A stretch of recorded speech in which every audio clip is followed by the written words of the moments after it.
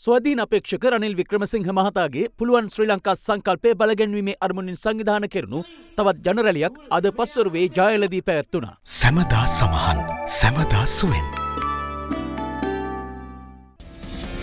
පුළුවන් ශ්‍රී ලංකා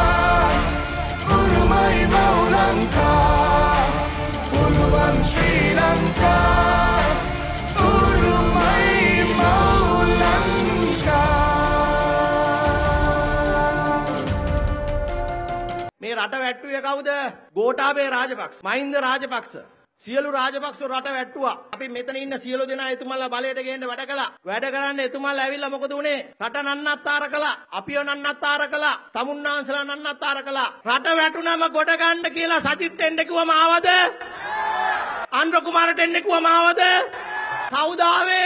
රනිල් වික්‍රමසිංහ. එවනම් අපි තමුන්නාන්සලා සියලු දෙනාට වගකීමක් තියෙනවා. කළගුණ සලකන්න. මීට අවුරුදු දෙකහමාරකට ඉස්සෙල්ලා පරාජය බාරගත්තු නායකයෝ දෙන්නෙක් එක්ක තමයි මේ ජයග්‍රහී නායකයා තරඟ කරන්න කියන එක අපි තමුන්නාන්සලට කියන්න ඕන.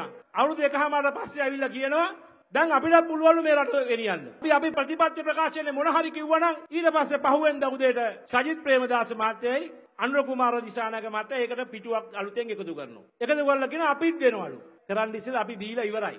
අපිට තියෙන්නේ අලුතෙන් පටන් ගන්න වැඩපිළිවෙලක් නෙමේ. අපිට තියෙන්නේ ගෙනිච්ච වැඩපිළිවෙල ඉස්සරහට ගෙනියන එක.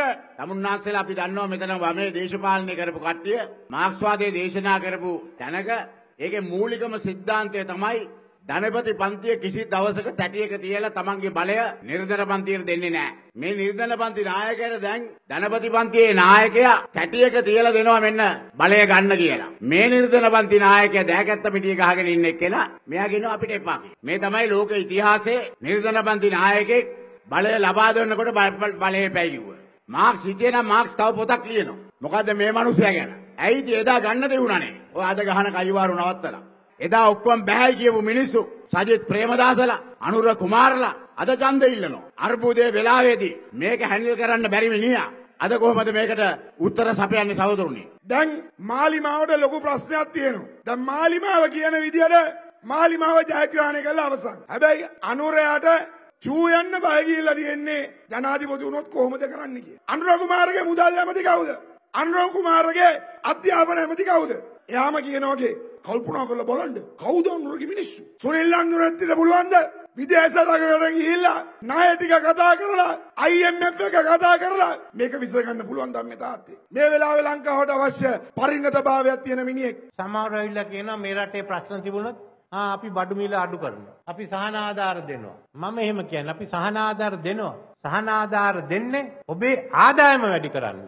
ආදායම් දැලයට අයිති නැති අය ඉන්නවා. ඒගොල්ලෝ අරගම්මු. බදු අඩු කරන්නේ මේ විදිහට. ආදායම් වැඩි කළ මම බදු අඩු කරනවා. ඊළඟ අවුරුදු දෙකේදී බදු බර සැහැල්ලු කරනවා කියලා මම මෙතන කියන්න කැමතියි. අපි ලෑස්ති නැවිලා බොරු කරන්න.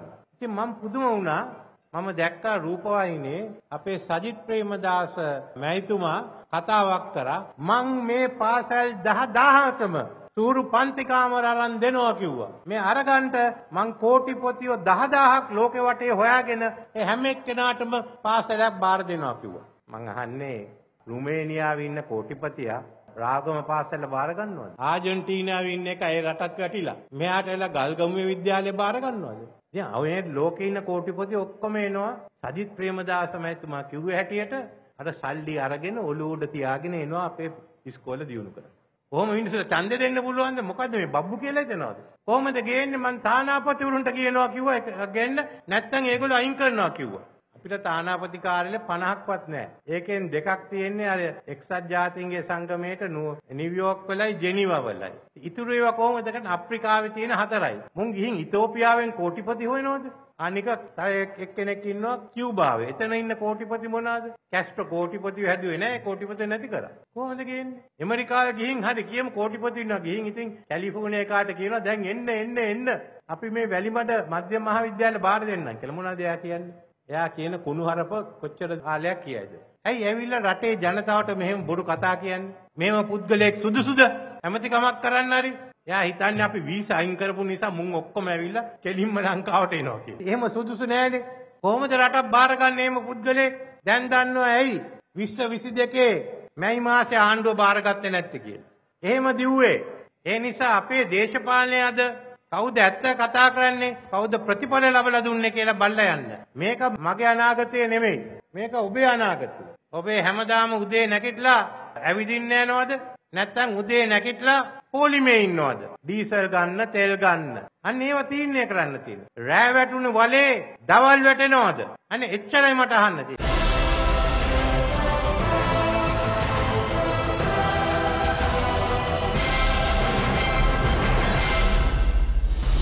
අද දෙරන YouTube නාලිකාව YouTube අද දෙරන දැන්ම සබස්ක්‍රයිබ් කරන්න.